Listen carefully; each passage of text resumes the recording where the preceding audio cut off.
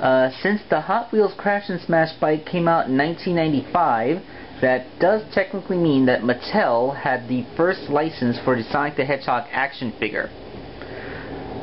However, they didn't really do anything afterwards, and it wouldn't be until 1999 when Sonic the Hedgehog, when Sonic Adventure came out in America, that we would get a, a second Sonic the Hedgehog action figure. That is what we are looking at today. This is the first Sonic the Hedgehog action figure produced by the company ReSaurus. Um, they had a website, resaurus.com, but um, as far as I'm aware, it's been defunct for quite a while now. The, the company no longer exists. So, this is the 1999 Hedgehog figure. Um, his accessory includes this really nice golden stand, which is made to look like the Sonic logo from Sonic Adventure, one gold ring, and a transparent stand to put the gold ring on.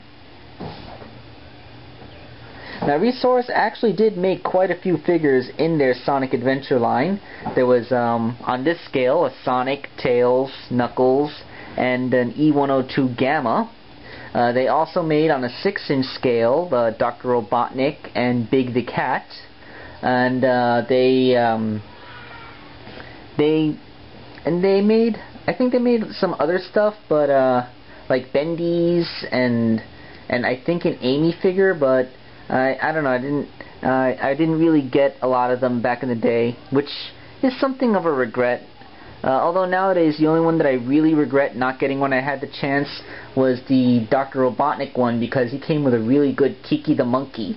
And that Kiki the Monkey was the first real Badnik toy ever made, and I kind of lament not having that Kiki now. Now that I have my big old Badnik army, I sense that I'm missing something. Alright, so, um, for the very first attempt at making a Sonic figure, this is pretty, pretty good. Uh, he's about 4 inches tall. Just for comparison's sake, here's a modern uh, Jazwares Sonic figure. And as you can see, he's a little bit taller. Back then they took 4 inch scale to be literally 4 inches. Now it's the like the 1 18th scale. So if you multiplied his size by 18, he'd be as tall as a real life Sonic. Which means that on 1 18th scale he's about 3 inches tall. Mm, but he's for later. Because right now we're concentrating on this guy. Um, now he has 1999 articulation. Um, although he does have universal shoulders, so he can put his arms out as well as moving them forwards. He can also call you a loser, because they molded his hand that way. Uh, I believe he has wrist swivels. Yes, he does have wrist swivels. And uh, they made his irises huge. Those are those are big. Those are yeah, those are those are huge irises. He also has his big smile. Um, when Sonic Adventure came out, they were keeping the new design secret. The only thing that they would show was his green eye and his big smile. And uh, his legs have simple swivel movement, but you know, for taking on a running pose, it sort of works. So yeah, it's a simple little figure. Um, in retrospect, probably not the best proportions were given to him, but I remember back in 1999 when I saw these things show up in Toys R Us, I I just about fell over. I I I no, I didn't literally fall over, but but I came very close to it.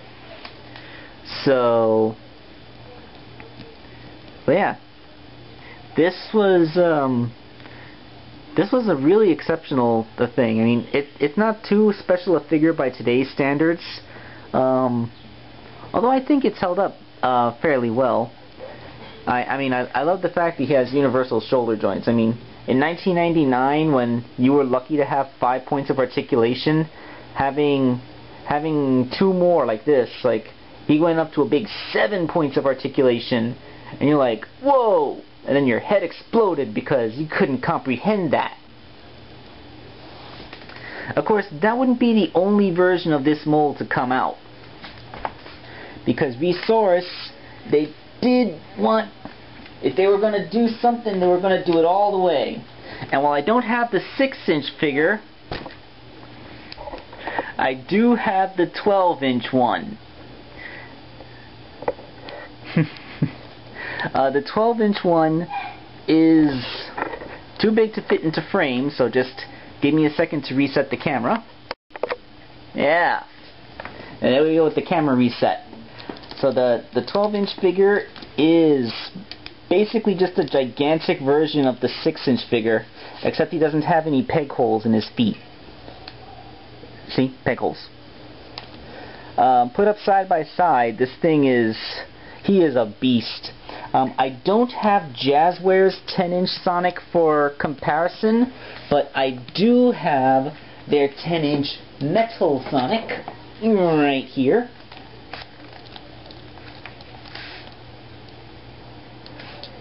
And as you can see, he's actually even taller. I think he would be an 11 inch figure, almost 12 inches really. Like I said, since he's essentially a gigantic version of the of the 4 inch Sonic, he has universal shoulders, which is really nice. Uh, he has, he can still call you a loser with the way that they molded his right hand. And he has wrist swivels, and I think he also has ankle swivels. Yes, he also has ankle swivels. So, you can give this guy a gigantic running pose, and the way they naturally curved his feet actually means that he can look pretty good in that pose if you could cajole him into standing. I don't know. No, getting this guy to stand would be a very delicate balancing act. I'm, I'm sure there's a way to do it. Maybe if this foot was in the back, it, it is a flatter foot, so maybe... Ah, there we go. Maybe if this wasn't a bed, he would stand a little better. Yeah, look at that. Doesn't that look nice? Genuine running pose. Alright, so, Mr. Gigantic ReSaurus Sonic, which is, um, personally, my very first eBay purchase, because, um, uh, it came out in 1999, but I missed out on it. The only one I got actually from the store was this guy. So I always regretted missing him. And then a few years later, when I started college at the beginning of 2003, I got my first eBay account, and one of the first things I ever searched for was this Sonic figure that I had missed. I got him for the price of uh, $30, which wasn't too bad considering it was only $10 above the store price, considering that it was only available on on store shelves for a few weeks and had been off the market for for um, almost four years. That wasn't too bad a price. Not sure how much he'd be worth nowadays, but uh, probably is worth quite a bit considering that the company that made him no longer exists.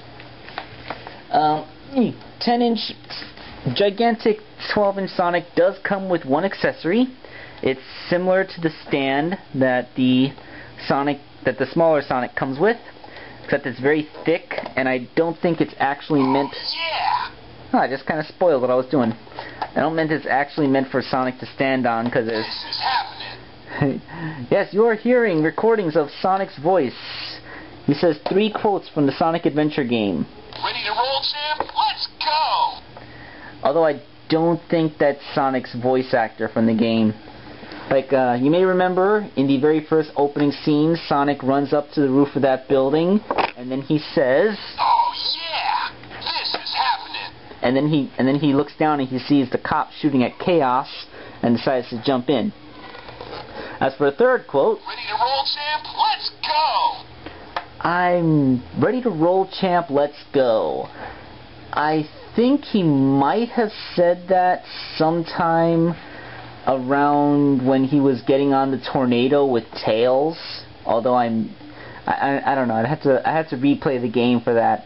Um, I do know that the voice sounds a little lower. That could be because the batteries are getting kind of are, are getting kind of lower. But I do remember that this this sounds like the voice that Sonic had in the in the old Dreamcast commercials. I remember Sonic had a distinctly different voice in the commercials than he did in the in the actual game. So I think they got the guy who voiced the commercials to put his voice into this thing. And uh, it's kind of cool that that this was technically the first talking Sonic figure, and I think it's the only talking Sonic figure. At least if, if they ever release one, I never heard of it. But, you know, this thing is so huge, and from what I can tell, this head is hollow. Couldn't they, like, find a way to put the electronics in here? I mean, there, there, there can't possibly be that much stuff in here to make the sound. Just put the speaker in here, maybe put the button on the back of the head, and make the Sonic figure itself talk. Why have the talking feature on a separate thing? That seems kind of strange. But yes, this is the biggest representation of the very first Sonic the Hedgehog action figure mold that is unambiguously an action figure.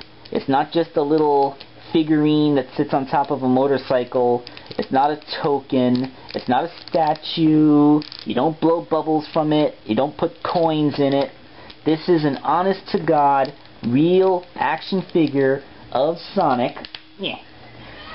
And it's made out of the kind of plastic that gets tighter as it ages instead of looser. How does that work? And and that is not an opinion that Sonic should express. Shame on you, Sonic. So, this has been Toy Customizer Wake Angel 2001, bringing you another blast from the past. And uh, we will continue forward next time with uh, action figures that came out when the Sonic X anime was the brand new thing.